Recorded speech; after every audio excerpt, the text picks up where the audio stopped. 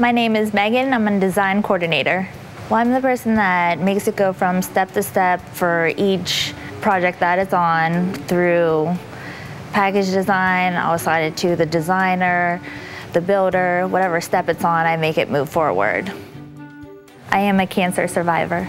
When I was younger, when I was three, I found out that I had leukemia. I actually fell down the steps and my parents took me to the hospital. That's how we found out that I had leukemia.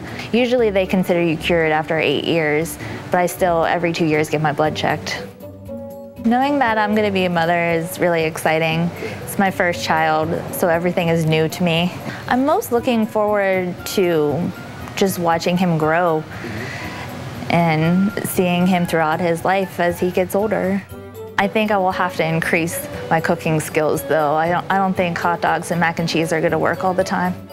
My art specialty would be drawing and sketching. I prefer to just sit and draw by hand. My love from art stands from my grandma. She was somebody that inspired me to do art more, so I pretty much love any type of art, whether I'm good at it or not. I would describe Inventionland as a great place to work, a good environment.